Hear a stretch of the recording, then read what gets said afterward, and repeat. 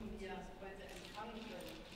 Ich glaube, äh, wir können sagen, dass ja, ich glaube, die Situation ist nicht äh, vergleichbar. Wir haben inzwischen ja eine Vielzahl von Vorbereitungen auch in Griechenland ähm, begonnen. Die Hotspots sind ähm, zum Teil errichtet. Griechenland ist zum Teil dem Zeitplan hinterher. Es gibt ähm, Übernachtungsmöglichkeiten und Aufenthaltsmöglichkeiten auch in Griechenland. Äh, die müssten auch ähm, von den Flüchtlingen genutzt werden.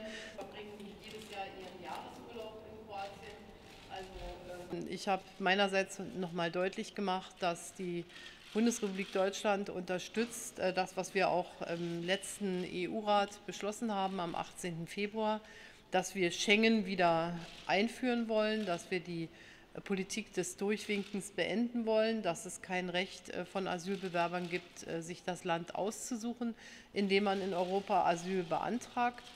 Außenpolitische Herausforderungen und auch eine gemeinsame Agenda in Ovaj, u vezi Hrvatske, jučer to znate, mislim da je to bilo novinama, ja sam tražio sada,